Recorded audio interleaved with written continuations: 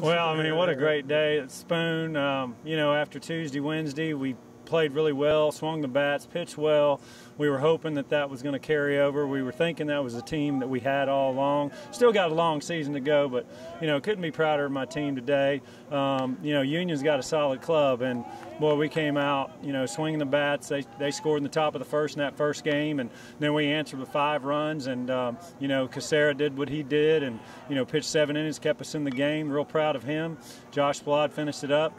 Just swung the bats up and down the lineup and executed early on. Um, and then in the second game, you know, Dylan Mills, you know, he did a great job. Um, gave up the one run on two walks in the inning and a ground ball scored a run, but throwing a no hitter like that, and in the same game, Nick Strasser, our senior, we put him in the leadoff spot about a week and a half ago, and you know, we just wanted to make sure he got extra at bats in every game, and he hits for the cycle today, and having a no hitter in the same game, just a real, you know, dominant performance really by my team and we were just thankful we carried this over and hopefully keep the momentum tomorrow.